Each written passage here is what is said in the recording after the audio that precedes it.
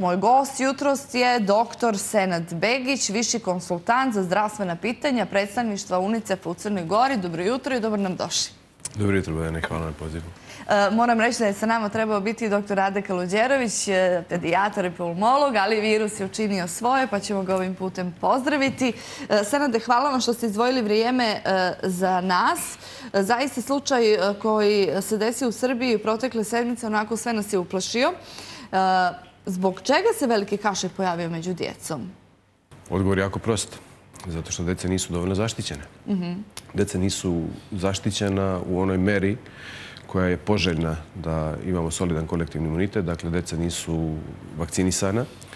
I takva situacija nije samo u našem komšiluku, takva situacija je prisutni kod nas.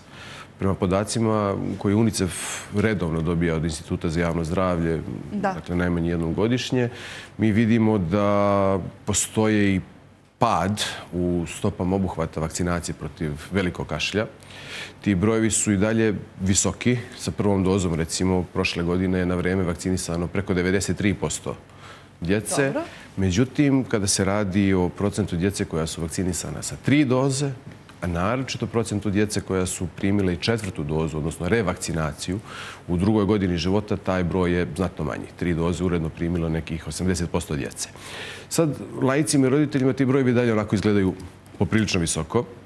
Međutim, ne smijemo zaboraviti da ako ove godine imamo 20% djece koja nisu primila sve tri doze, prošle godine smo imali isto skoro toliko, za pet godina mi dobijemo jednu cijelu generaciju djece koja nije uredno vakcinisana i koja se samim tim smatra nedovoljno zaštićenom protiv velikog kašlja i uslovi za epidemiju su stvoreni. E, mi trenutno imamo sezonu gripa, covid i velikog kašlja. Ja sam negdje prije pomenula da oni koji su ovih dana pod tim virusom onako često kažu nikad me nešto ovako nije e, slomilo. Šta se tu dešava trenutno? Ima tu još nekih patogena, ima tu još nekih patogena definitivno i respiratorni sincicijalni mhm. virus. Prosto, sezona je respiratornih infekcija, ali ono što mi vidimo i podaci koje nam naši partneri dostavljaju i dijele sa nama, su takvi da jasno ukazuju da stepen zaštite i stepen korišćenja preventivnih servisa nije na zadovoljavajućem nivou. U državama u kojima se prosto ljudi ne vakcinišu protiv gripa, ne vakcinišu protiv COVID-a, eh, gdje imamo ovako niske stope obuhvata sa tri doze vakcine protiv eh, velikog kašlja, za očekivati je da budu sezone respiratornih infekcija znatno teže i znatno ozbiljnije, i populacijono gledano i individualno gledano, nego tamo gde su stope imuniteta i kolektivnog individualnog ovaj, zato visočije. I prosto, dešava se koinfekcija, superinfekcija, takozvana, kada više patogena, a oni za to imaju pravo, jer je to njihova priroda, kada više patogena u isto vreme inficira ovaj, jednu osobu i klinička slika je znatno teža. Koliko vas brine ova situacija koja se desila u Srbiji? Uh, UNICEF regionalno i globalno gledano jako brine ova situacija, nevezano samo za Srbiju. Brine na situacija koju vidimo u cijelom regionu Evrope i Istočne Evrope i Centralne Azije. Uh, brine na situacija i u drugim regionima gdje smo aktivni, a UNICEF je aktivan u preko 190 država sveta u kojima uh, u najvećoj meri podržava program imunizacije, kao što je slučaj u Crnoj Gori. Ovdje smo zadnje dve i po tri godine uz podršku Evropske unije radili dosta da ojačamo i osnažimo program imunizacije upravo da bi ga pripremili za ovakve stvari. Brine nas i pad obuhvata protiv, dakle, vakcinama protiv pertusisa, ali nas isto tako brine i jako niska stopa obuhvata i zaštite djece protiv malih boginja. Da, da. Mi već sada vidimo da je... Vidimo kakva je situacija u Bosni i Hercegovini kad je riječ o morbilama. Svuda. Nažalost, ali svuda. Rumunija je prijavila jednu veliku epidemiju. Širom Istočne Evrope su epidemije malih boginja, u Azerbejdžanu također. A pravilo za male boginje je relativno jasno male boginje bilo gdje, opasnost svugdje, tako da je sada u suštini samo pitanje vremena kad ćemo i pored Pertusisa Tako je stanje kod nas sa morbilama i sa vakcinacijom? Ove godine je znatno bolje nego prethodne. znatno bolje nego prethodne. Mi smo podržali različite aktivnosti i ministarstva i Instituta za javno zdravlje, tako da smo tokom 2023. godine uspjeli da vakcinišemo preko 2000 djece više nego tokom 2022. ali te stope su i dalje na, na, na nezadovoljavajućem nivou, tako da su procene instituta da mi imamo oko 15.000 predškolske djece koja nisu adekvatno zaštićena protiv malih boginja, što je zaista jedan ogroman, ogroman broj. E, e, kako smo mi došli do toga da se nekad zaboravljene bolesti vrate u ovakvom obimu? Uh, To je problem, rekao bih, svih društava. U nekim društvima je taj problem malo naglašeniji, kao što je naše društvo. U nekima nije toliko naglašen. Definitivno postoji i uticaj pandemije koronavirusa.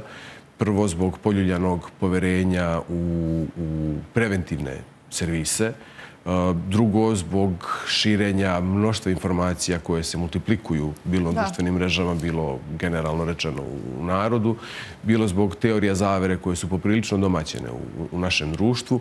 I zaista situacija koju mi vidimo konkretno sa pertusisom je situacija koju smo zadnji put videli 70 i neke. Vakcinacija protiv pertusisa u Crnoj Gori u organizovanom obimu, dakle vakcina protiv pertusisa, uvedena 1962. Najveći broj slučajeva, skoro 600, mislim 590 i nešto, je registrovan 67. Mi smo prošlog ponedeljka, dakle na današnji dan, pre sedam dana, u Crnoj Gori imali 452 potvrđena slučaja. Institut će danas popodne, pretpostavljam, ažurirati te podatke, što znači da smo već sad u riziku da imamo više slučajeva nego što smo ih imali 1967. godine. I to je zaista zabrinjavajuće. Jako, jako, jako zabrinjavajuće. Sve one bolesti za koje smo zaista mislili da, da, da, da, da smo završili sa njima, bolesti koje smo zaboravili, se vraćaju.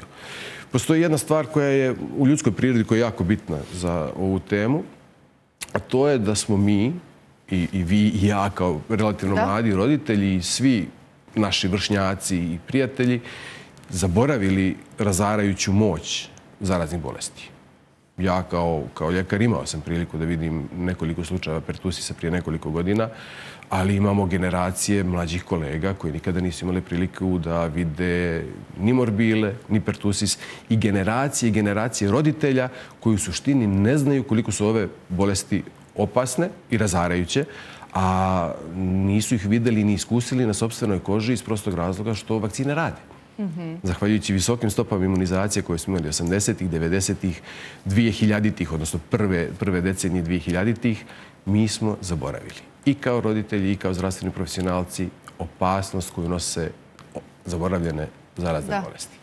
I čim smo zaboravili, nismo iskusili njihovo dejstvo na sobstvenoj koži, ne smatramo ih bitnim, ne precipiramo ih kao opasnost niti po nas lično, niti po našu djecu, niti po naše porodice, niti po naše društvo, što je jako bitno.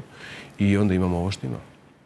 Tako je, e, zaista nekako u najopasnijoj zoni su najmlađi, odnosno, odnosno bebe koje nisu ni stigle da dođu do, do onog termina za, za za vakcinu. Upravo. E, I naravno kad se radi o pertusisu. Da. Pertusis je najopasniji i najpogubniji, to smo videli.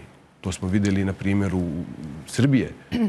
Najopasniji za one bebe koje prosto nemaju dovoljnu starost da bi mogle biti, biti vakcinisane i one su te koje zavise od nas, koje zavise od kolektivnog imuniteta i barijere koje ćemo, koje ćemo mi stvoriti oko njih. A koliko su odrasli u svemu ovome odgovorni, jer znamo da dosta odraslih isto ima ovaj, ovaj uh, virus, do duše uh, nekako kod odraslih je to lakša slika, je li? Ili da. kako? Veliki kašelj izaziva bakterije. Mi smo primili neke vakcine, koliko to više, je li, izblijedi, ne štiti. Kako? Objasnite nam to. Sjajna reč. Sjajna reč izblijedi. I zaista je tako. Zaista je tako. Prvo, pertusis izaziva bakterija. Dakle, to je bakterijska, bakterijska infekcija. Mi smo, kažem, od 62. uspješno sprovodili program imunizacije. Dakle, svako ko je rođen od 62. pa novamo, naročito sa, sa onim politikama i onim rezultatima koje, koje smo imali tokom sprovođenja programa imunizacija. Dakle, verovatnoće je da smo gotovo svi primili makar jednu dozu vakcine protiv velikog kašlja, ali naročito za, za pertusis je karakteristično i naročito u posljednjim, posljednjim decenijama to gubljenje imuniteta, taj waning immunity, to izbleđivanje Eto. imunskog odgovora, iz prostog razloga što je naš imunski sistem napravljen tako da ne troši previše energije kad mu nešto ne treba. I o, prosto je za očekivati da od prve godine života kada se primaju tri doze do neke adolescentskog uzrasta, adolescentske dobi, taj imunitet koji smo dobili u prvoj godini života prosto nestane. To je prirodna i, i normalna pojava i to se najbolje vidi po epidemiološkim podacima obolijevanja trenutno u Crnoj Gori, gde je najviše oboljelih upravo u dobi mladih, odraslih i adolescenata, dakle, dakle srednjoškolaca, ovaj, koji zbog svojih društvenih interakcija, velikog broja kontakata, uh, su u većem riziku od obolijevanja i širenja infekcije dalje.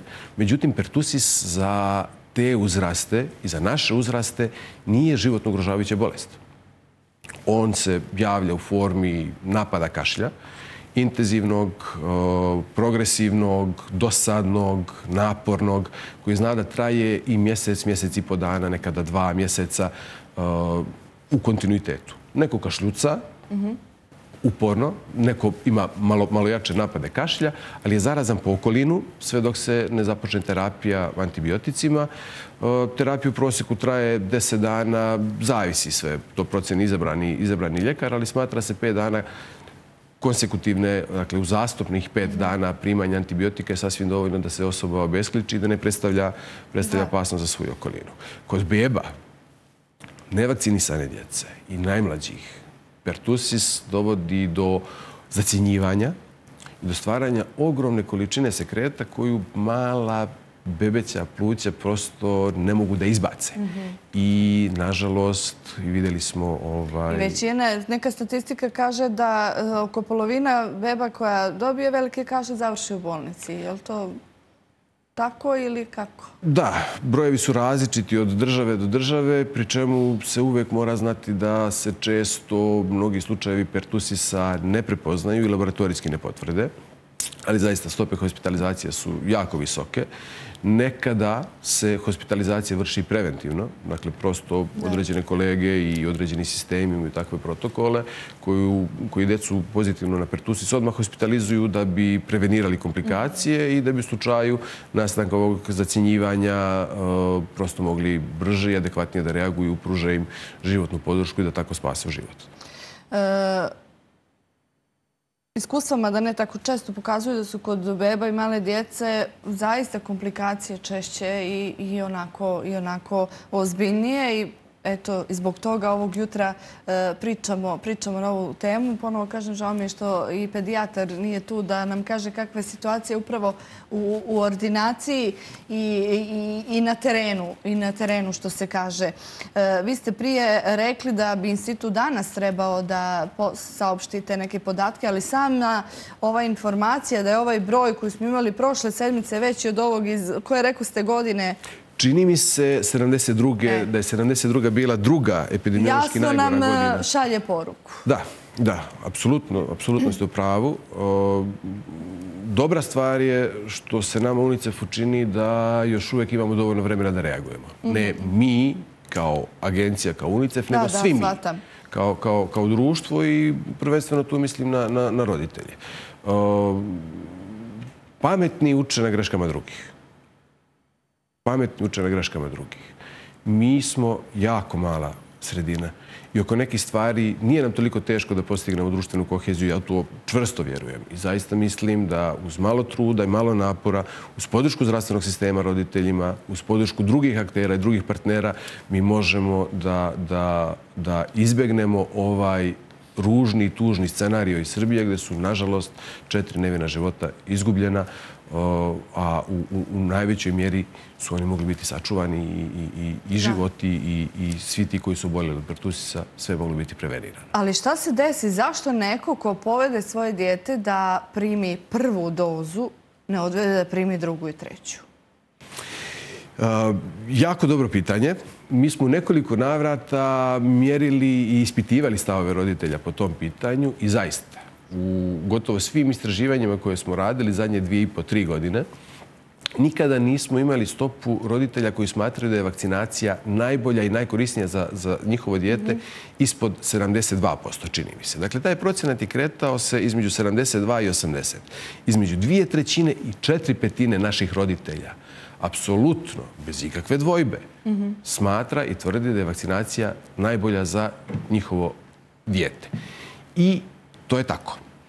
Ti roditelji prije ili kasnije vakcinišu vakcinišu svoju djecu, ali problem je upravo ovome što ste rekli, što iz nekog razloga određene vakcine odlažu za neki stariji uzrast, što je jako loša i, i potencijalno pogubna praksa, jer svako odlaganje produžava vrijeme tokom kog je dijete nezaštićeno i samim tim produžava i vjerovatnoću da bude inficirano, da se razboli, da razvije komplikacije i zbog toga je jako bitno pridržavati se propisanog kalendara imunizacije i vakcinisati, vakcinisati na, na, na, na vrijeme. Ta stopa osipanja, dakle ta razlika u obuhvatima između prve i treće doze, isto je jedan jako bitan indikator koji ukazuje gde, kada i kako treba određene intervencije raditi. I u konkretnom slučaju to je ono što smo i, i radili u prethodnoj godini, takozvane kampanje sustizanja, gde smo targetirali onu djecu koja su kasnila sa, sa imunizacijama, identifikovali onu djecu koja uopšte nisu vakcinisana, a roditeljima napravili mogućnost, dakle, mi podržali, a zdravstveni sistem napravio mogućnost da vakcinaciju sprovode kada njima najviše odgovara.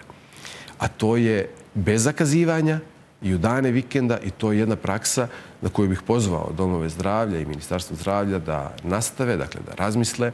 Dalo je rezultate, dakle. Apsolutno, apsolutno.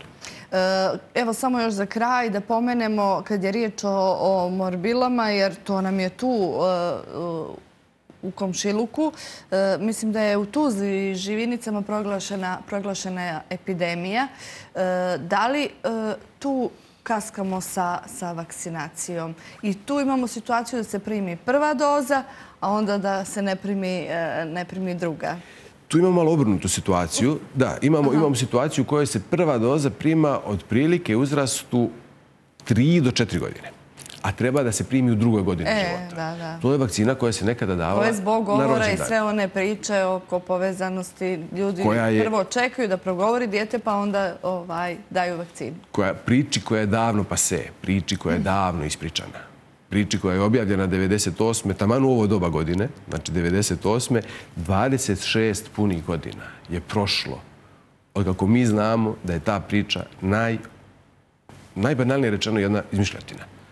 I 26 godina se mi vrtimo u krug i 26 godina mi našu djecu izlažemo riziku na osnovu nečega što je neko u svo dužno poštovanje prema vama, što je neko izmislio. Da. I boli me, boli me kao roditelja boli me kao roditelja da, da, da, da, da vidim svoje komšije, prijatelje, svoje okruženje, da i dalje vrtimo istu tu priču 26 punih godina. Društva neka su se opekla. Velika Britanija se opekla gotovo 2000 imala ogromnu epidemiju morbila upravo zbog toga. I nikad više završili su sa, sa, sa tim i naučili su svoju lekciju. Mi opet kažem, imamo luksuz da učimo na, na, na primjerima drugih i zaista ne smijemo dozvoliti da, da, da se epidemija velikih razmjera morbila desi. Dakle, prva doza se odlaže, ali druga doza imamo više nego zadovoljavajuće obuhvate, mislim, uzimajući obzir sve okolnosti, druga doza se prima pred polazak u školu. Jeste, pred polazak u školu i otprilike ovaj, na sistematskim pregledima djeca već kad uđu u školski kolektiv su u jednoj dobroj meri zaštićena od, od, od morbila, pričemu opet se vraćamo na ono, na ono prvo pitanje. Ako u svakoj generaciji zostane 15 do 20 dece, mi za 5 godina imamo cijelu, onda smo u problemu. cijelu nevakcinisanu generaciju. Evo za kraj, šta je vaša poruka jutro s roditeljima prvenstveno? Jako prosto.